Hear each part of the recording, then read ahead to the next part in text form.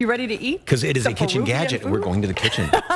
Okay. Yeah. Oh, Maldonado. Then some cool, delicious recipes to keep you cool and full. Al Maldonado from Cholitos Express Yes. joins us. We have to dance first, right? oh, all right. Are you ready? You can cue the music for us. I'm going to dance with rubber gloves on. You're going to dance with, rub- with rubber gloves on. I don't know why. Okay. Why not? Are you ready? Yeah. Okay. Okay, here we go. Five, six, seven, eight. I thought we were doing the, the sprinkler thing first. Oh. I don't know what kind of language y'all. Oh, Lawnmower, lawnmower, lawnmower. This is that lawnmower that doesn't start on the first pull. these so- are moves I don't know. Then hide, the- hide, the- hide the head. Wait, what? What? You gotta hide the head. You got to be careful. You got a pan of hot oil sitting over there. So I was like turned to you to see if you're actually going to do it. I'm like, all right. I'll put on my back out. a So sudden dance off happening here. All right. we have got classic Peruvian dishes. Yes, yes. We got the best ceviche in the world. Okay. And you're not just saying that. I'm not just saying this because I'm Peruvian. It's just because go ahead and Google it, and the ceviche, uh, the ceviche Peruvian that will come on top of the pick. It is the classic way Yes. to make it. Now, Yes. what, do what do we want to start with first? And we also have this potato dish. Then we well, have which the looks uh, fantastic. papa rellena, which is a stuffed potato. Mm-hmm. It's very simple to do, and a fast day. You you know you looking for something to do really quick. You got some leftovers, bang! You can knock that out in about Perfect. 20 minutes. Okay. Yeah. You get going that. on that. I'm going to start on the ceviche, and I'm just Okay. going to cut it up into small, nice little bite-sized hunks. Correct? Okay. Got a little flour on my gloves here. Okay. Yeah. And so you now. get some uh, uh, potato. The potato is already been boiled and peeled. It's a gold potato, and you have to use this ricer to uh, to actually mash the potato. Another great kitchen gadget to have. more? And you said you have to more. use a gold potato. You can't just use a regular Yes, Idaho it's bake more, or it's something more like starch, that. Uh, okay. more starch from- to it. These gloves are a little big. Yeah. So I want to make it into Yeah. a circle, right? Right. And And just then make it just- fairly. We're gonna put Is a this little size bit. okay? Yeah. Okay. To start with, yeah. There we go. You're gonna put a little bit of the filling. Now, keep in mind, the filling could be anything. Like right now, we're doing picadillo. Uh-huh. Okay.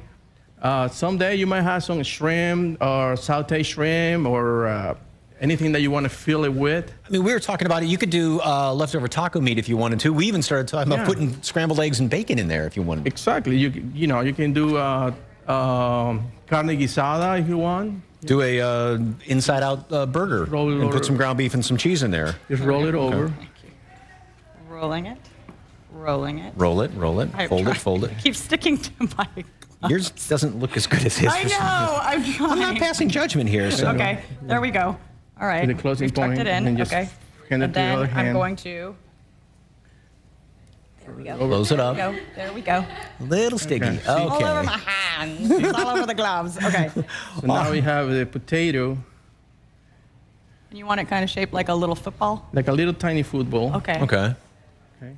Then you're gonna throw it on the flour. And that'll help it brown a little bit better in the, uh, And that in the oil. it will And do you- bond. Do you cook it in what? Vegetable oil, olive oil, butter? I'll, I'll do olive oil olive oil? Okay. and Pop that in there. give a little more shape on that. And Mm-hmm. here we go. And that's All going to go for a bit. Okay. And I cut up the uh, the fish, and you said just you cut, a nice you white cut the fish.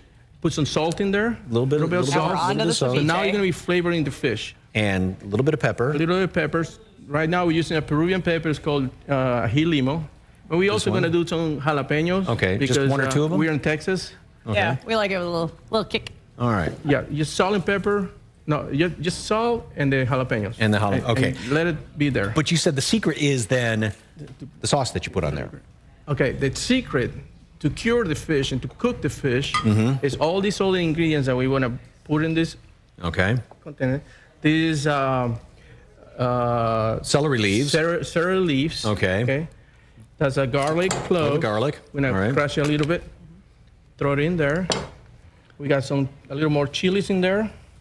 A couple of pieces of onion. And if you don't have a mortar and pestle, you just take, an- take another bottle, and you said just start mushing all this stuff up. And you're gonna put the juice in there. Okay. And this is lime juice. This is jam juice. And some leftover pieces of fish. Oh, okay. See, I got a couple leftover pieces of fish. And this is called gonna- tiger milk. Yeah, it's crunch it, crunch it good. This is a tiger milk. It's a, it's, it's aphrodisiac. So ceviche is an aphrodisiac. Yeah, it is aphrodisiac. Yeah, This is it's- a Friday, Saturday back. night dish out it goes cocktails. into the category of aphrodisiac. Everybody li- loves the uh, tiger meal, which is leche de tigre. So this goes over the fish once No. it's all mushed together. No. We supposed Oh, we strained it out. Uh-oh. you s- okay, we strained it out. Uh -oh. My bad. Okay. Strain all the big pieces first. So We're when you fixing do- it. We're fixing it. We're fixing it. I was thinking about the ceviche being the aphrodisiac. So sorry about that, folks. Now, Um, now, Peruvian ceviche is the most authentic, right? And the best? Yes. And is that been- a fact? It is a fact. you you can go anywhere, and people always ask me how you make your Peruvian ceviche. Just smash, smash a little more. Smash a little more. Okay. Real hard. And that takes about how Make long? all those flavors to marry together. how long to uh, cook the, the fish with the Uh, 15 minutes. about 50 and that's it. Yeah. Okay. And that see that's the that's the that's the magic. Okay. This magic is gonna make the ceviche. So Then we strain it. strain it out. Right, because Okay. you all those flavors from those ingredients All right. created a juice that's gonna be the that it's gonna take you straight to heaven. And the uh, potato is cooking for about how long? And it's just a matter of warming it up, yeah, right? And it getting nice and brown on the side? Yeah, a little brown, Okay. Okay, so that's gonna very go for a bit. simple. Yeah. Okay, and you have two locations, of course, right? Well, right now we uh, we have a food truck in Boerne that we only sell tamales. Mm-hmm. We believe tamales can be eaten all year round. You don't have to you don't have to worry about uh, wait until Christmas time. Mm. And we have our location in Huebner and Babcock Corner, Okay. where we sell our, our regular menu. For more And information we do a on, lot of caterings. Yeah. on Cholitos Express, head over to salive.com. Dot com, dot com. Um, the lesser known website. Exactly. and click on the Seen on SA Live tab, and we have provided a link on there.